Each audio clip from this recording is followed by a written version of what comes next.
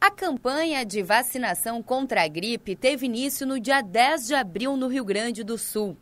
Karina levou o filho Ian até uma unidade de saúde para receber a dose. Bem, bem importante a vacina, ainda mais ele que tem rinite alérgica, então para evitar qualquer situação respiratória, enfim, é bem importante a vacina. Dona Lides também já está imune. Vale a pena. Desde que passei a me vacinar, eu não tenho me gripado, senão é um resfriadinho leve, de vez em quando, nem sempre.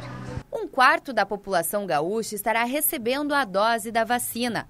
São pessoas que fazem parte dos grupos prioritários. São as crianças de seis meses a menor de cinco anos, as gestantes, as puérperas, ou seja, que ganham bebê até 45 dias, é, população indígena, população prisional, inclusive os funcionários, os uh, educadores né, da educação básica, uh, fundamental e médio e universitário, tanto setor público como privado, os profissionais de saúde, as uh, eh, pessoas com 60 anos ou mais e os portadores de doenças crônicas.